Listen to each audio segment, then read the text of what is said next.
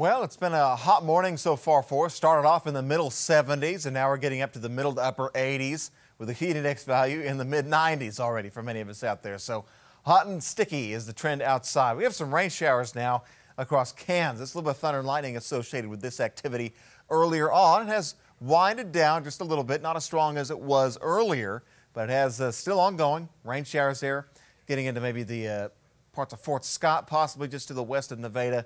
This activity may hold together to produce maybe some light rain, maybe some sprinkles in west central Missouri over the next couple of hours, but it is weakening some as it moves on in from west to east. Here in Springfield, we should be dry today, but uh, this may be worth watching. Either way, if it does hold together, not much. Okay, sprinkles, light rain shouldn't interrupt plans too much there. The main storm track right now is going up and around the heat dome. Okay, and so that's through Iowa. Severe weather continuing there, getting south of Des Moines now, southeast of Des Moines.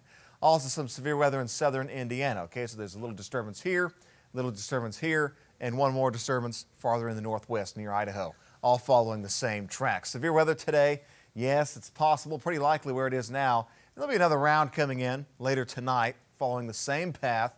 that may extend a little bit into central Missouri, okay, maybe.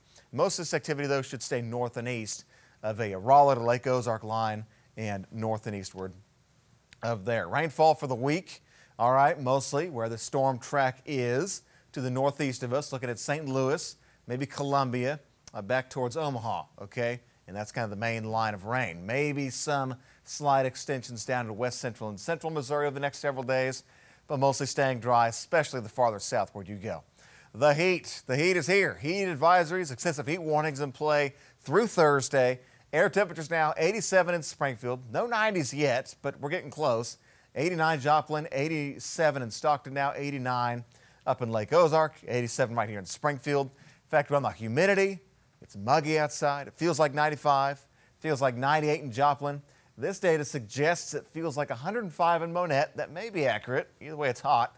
98 in Fort Wood, and it feels like 99 already up Lake Ozark. Winds a little gusty from the southwest, 10 to 20 miles an hour. Winds for the day, maybe up to 20 miles per hour. So take a look at Futurecast. We'll see again. Maybe some clouds rolling on through, but that'll be just about it for us. And we get into Wednesday afternoon, more of the same. Hot, hot, and hot weather for us, okay? So not much is going to be changing day after day as we go into Wednesday, Thursday, mid 90s, feeling like 105 to up to 110. And a little cooler to wrap up the week, but still warm in the low 90s going into August.